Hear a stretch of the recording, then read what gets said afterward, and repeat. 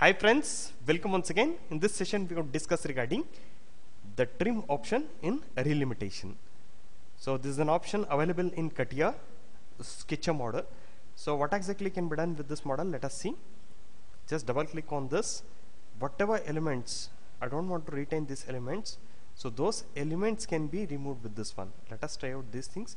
These are the two geometrical entities. I would like to retain these two portions. I would like to remove these two portions. So select this entity. Uh, while selecting, there is only one option. You select the geometrical entity in such a way that that uh, portion of the geometrical entity, whichever you want to retain, select that geometrical entity portion. So select the geometrical entity portion and select this geometrical entity portion. You can observe here whatever was there here that thing has been removed here.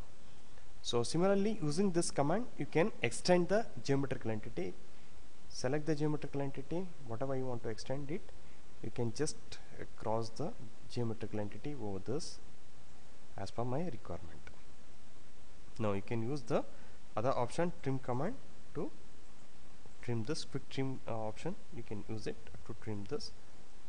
You can zoom this and then trim this particular thing so those are the two uh, uses of this uh, trim command. One is you can extend the other one is whatever you don't want you can trim it off. Uh, that's all for today. Thank you friends. Keep watching. Subscribe to the videos. Thank you